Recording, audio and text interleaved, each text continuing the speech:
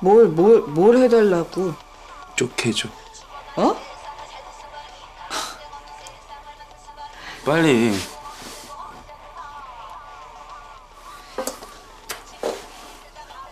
제대로 안 하냐 진짜?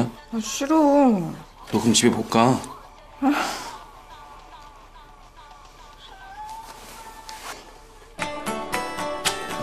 됐지?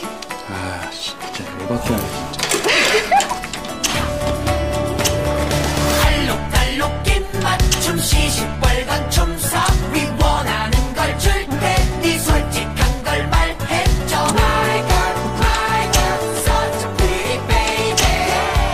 곰탱이 파이팅!